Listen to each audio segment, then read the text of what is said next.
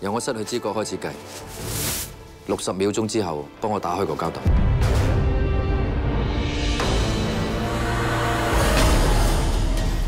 你真系见到鬼噶？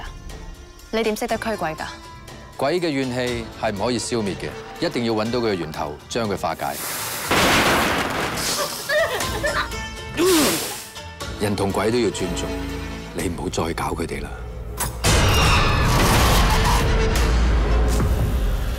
个神棍顶多都系呃人啫，唔使死啊嘛。